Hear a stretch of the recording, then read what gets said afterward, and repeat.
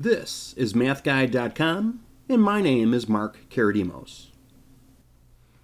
In this video, you're going to learn how to simplify radical expressions. In our first section, we're going to look at radicals that have only numbers.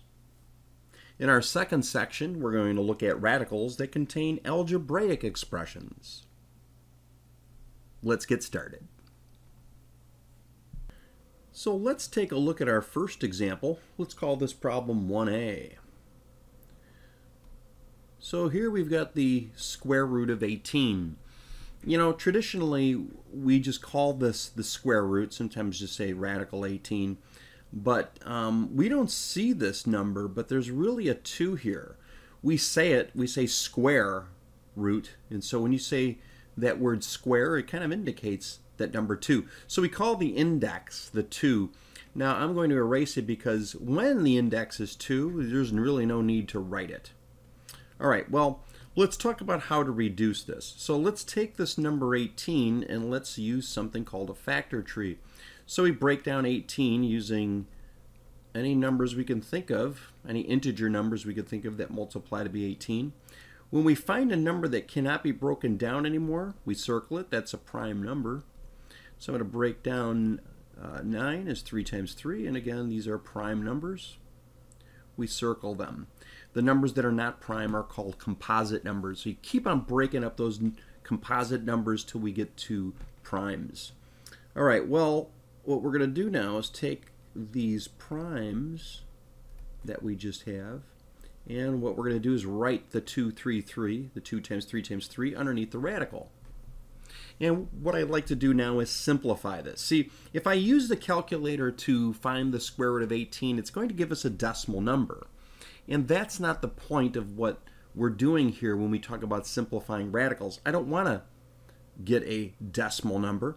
Instead, I want to get a simplified radical. Like for instance, you may notice that 3 times 3 is 9, right? 9. I could take the square root of 9. The square root of 9 is 3. Unfortunately, I can't do anything with this 2. See, this 2 is stuck underneath the square root sign because there's nothing I could do with it. All I could do is take the square root of 3 times 3, which is 9, and the square root of 9 is 3. Uh, and there you have it. So we've reduced this radical as much as possible. Let's take a look at another example. So let's take a look at problem 1b. So let's take a look and see what happens when our index is different. So now this is called the cube root of 54. Okay, what's the cube root? Well, first, let's take 54, make a factor tree. Let's see. Hmm, it's even. I can divide it by 2. 2 times 27 is equal to 54, so you circle the 2.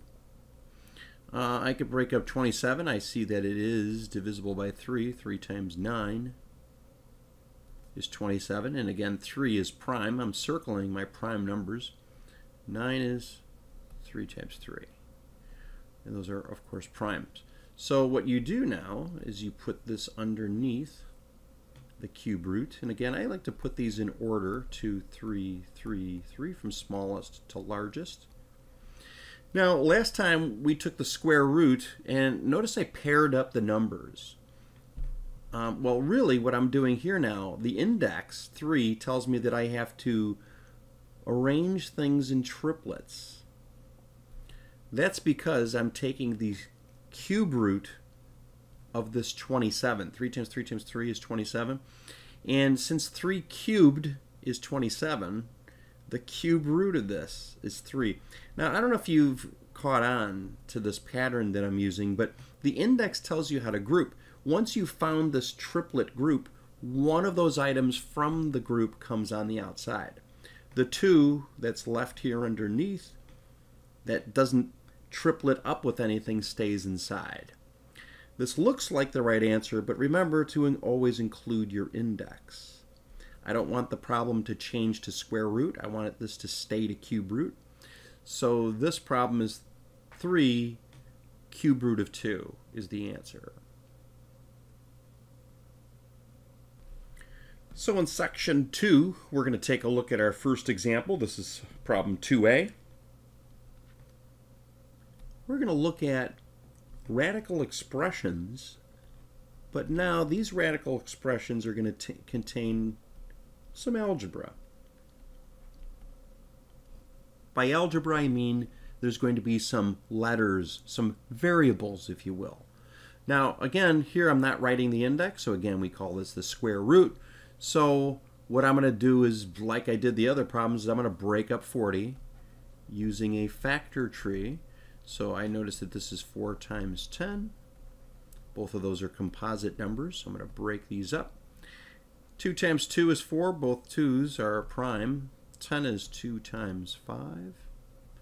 And both of those are prime numbers. They can't be broken up anymore. Okay, so what do you do? You now put this underneath the radical. So I put 2 2, 2, 5. Okay, so that's what we did before in section 1. Now what's different is I also have x cubed. So I'm putting 3 x's because that's really what x cubed means. I got 3 x's.